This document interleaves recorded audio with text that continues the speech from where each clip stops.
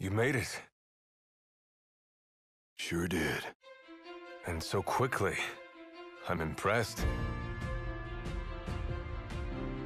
Brought this back with me, too. Figured you might get a kick out of it. I wondered where I put that thing.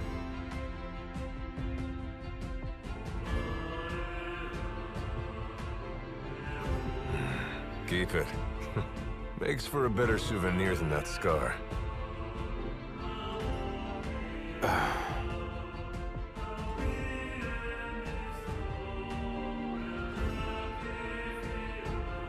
You know, he mentioned he lost his arm in battle with a real hot-headed young guy back in the day. That's so. Whoever it was left a lasting impression on him. Talked about how the guy had the strongest will he'd ever seen. Takes more than will to complete the trial.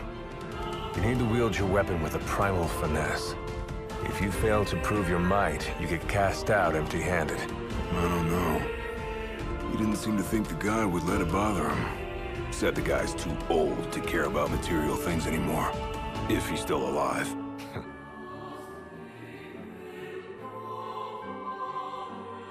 Gladio. Huh? I hope you feel more confident in light of your success today. Few men can lay claim to such an accomplishment. Not even Cor the Immortal. Yeah, but I didn't earn myself a badass nickname like he did.